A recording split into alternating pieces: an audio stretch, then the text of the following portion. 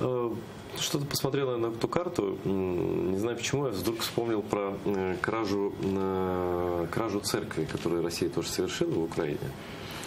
А, Вот, э, тогда был безвизовый режим, э, но сейчас есть безвизовый, и границ не было с этой прекрасной страной. Вот, она считала своей частью. Э, Вот, вот можешь рассказать, как они украли отсюда церковь? А, Ты имеешь в виду, э, как Ну, получили Киев- ту, Киев, Томас? Да, да, да. Как вот они, как они украли церковь? Ты знаешь, смотри, я тебе скажу так, значит, что в разговоре иудея с мусульманином вопросы христианские должны Мы быть... не про христианство, очень- очень чисто про политику. Это А, а, На самом деле э, церковь была украдена точно так же, как и украинская, славянская история приписана себе. Значит, об этом сейчас э, много есть работ, и э, даже у меня на Facebook зайти есть ссылки, где это взять, но я принципиально о церкви не пишу э, э, в силу своего э, происхождения. Э, И м, когда э, русские, э, э, московские, московские князья э, хотели э, организовать центр политический вот э, у себя в Москве, э, то нужно было, конечно, привлечь э, и э, митрополитов, патриархов и так далее. Кстати, вот э, та легендарная дата основания Москвы,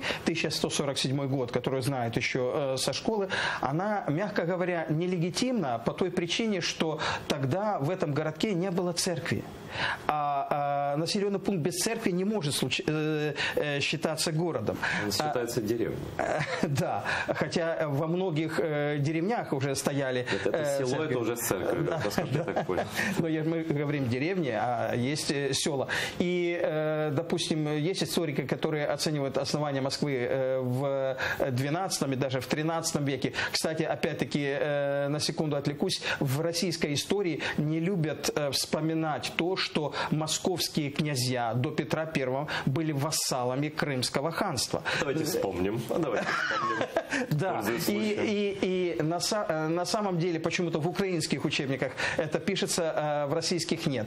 И когда э, перевезли, можно сказать, э, патриарха в Москву и держал его там московский князь, пока тот не умер, а умер тогда следующий уже должен быть там, то Вселенский патриарх э, в Константинополе, он признал временное право московской церкви определять некоторые вопросы церковной жизни в Киеве и в других местах. Никто не говорил, что украинская церковь подчиняется московской э, или российской. Российской тогда вообще не было. Россия была с 18 века, с э, начала правления Петра до 1700 Но и срок не указан просто. был. Конечно. По Вот. На, на на самом деле сегодня э, Константинопольский патриарх просто восстановил историческую справедливость и напомнил то, что было на самом деле.